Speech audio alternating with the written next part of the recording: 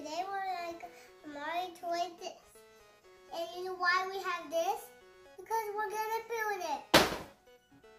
So we're gonna build it and we're gonna put this in this head.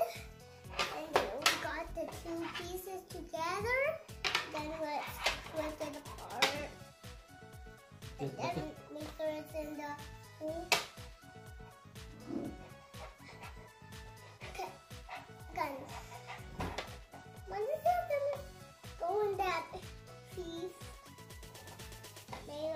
twisted out, shooting them up everywhere in the house.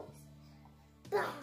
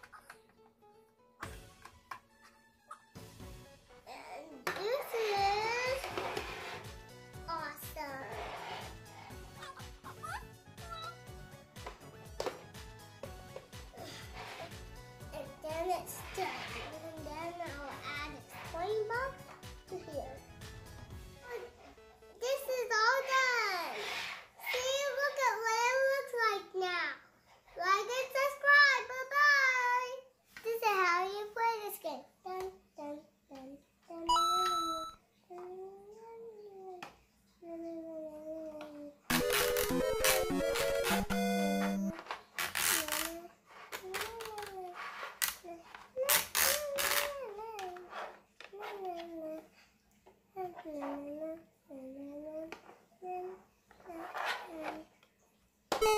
奶奶奶奶奶奶奶奶